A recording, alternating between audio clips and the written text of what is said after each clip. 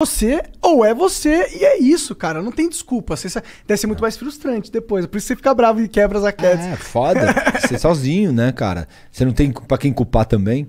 Mas na dupla tu tem. Tu ficava puto com o Guga? Ah, Ele ficava bastante também, né? comigo. É. Ele cantava aquela música do Red Hot Chili Peppers. Sometimes I feel like I don't have a partner. Caralho. É legal. no meio do jogo, filho Pior que essa é uma das músicas mais tristes do Red Hot, mané. Caralho. Falava que eu não tinha parceiro, desgraçado. Caralho, que zão massa. Meu, a gente, a, a gente curtia muito. A gente dava muita risada. O Guga era um cara, um cara muito astral. Sim, e a gente se dava muito bem nisso aí, dá pra ver em vocês, assim. é- Cara, de astral. amigo mesmo, tirar um É, outro. dava risada. Óbvio que a gente competia. O cara, eu era número um do Brasil, apareceu esse desgraçado e me tirou. Então, querendo ou não, ele te tira muita coisa, né? Como eu tirei de alguém.